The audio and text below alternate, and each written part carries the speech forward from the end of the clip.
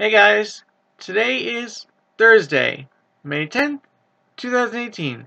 However, bipolar opposites. My name is Timothy Andrew Antonio Cubbin, and I'm the host of this little program, which will last for a few more minutes, but let's go. Anyway, no introductions, just, just say that. Well, if you like today's episode, you can go back to yesterday's episode and beyond that, because it was uh, germophobia yesterday that I talked about.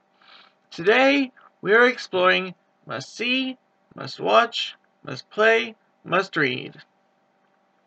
Honestly, think about it. They say a movie is a must see.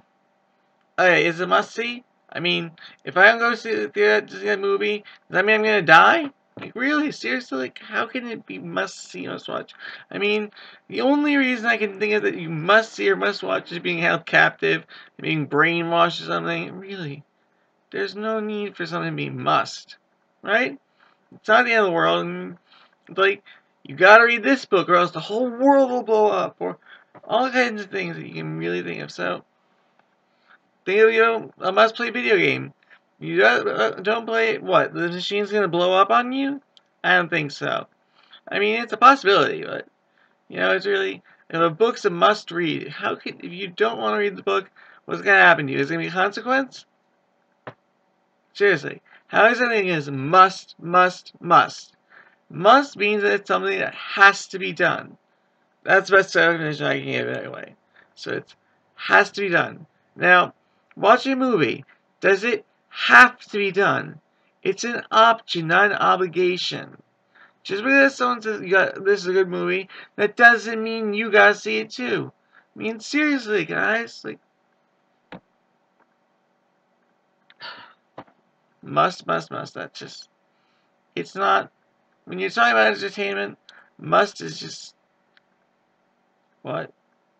Like, no, the end of the world is not going to be done if you don't see this movie. Or, you know, if you're going on a date and you must see the movie to save the relationship, well, what if you don't want to see the movie? It, I mean, yes, I'm okay, let's just go here and say, yes, there are cases where couples break up because they don't want to see the movie. So I guess that's a situation where you must watch a movie or must watch a TV show or whatever, but really?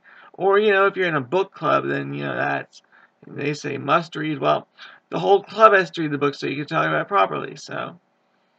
Yeah, there are a few examples where must. But, seriously, a must see doesn't always mean you have to see it. It just means if you want to see it, you can see. I mean, like, also, someone says you must see this movie. What if you don't like the movie? Sure, they like the movie, you don't like the movie. So, you've gone to the theater, paid $15 for a ticket for something you didn't want to see, all because someone else said it was must. I mean, that, that's just really, really disappointing. I mean, you know, like TV show. Say, okay, let's watch this. You know, watch this, we were over. I mean, I could just Yes, there's plenty of reasons why you must, but really is it? If you're doing it casually, it's something you must do? I don't think so. Tomorrow, we will be talking about everyone is talking about. Okay? So I hope to see you then. Thanks, I'm Jim Out.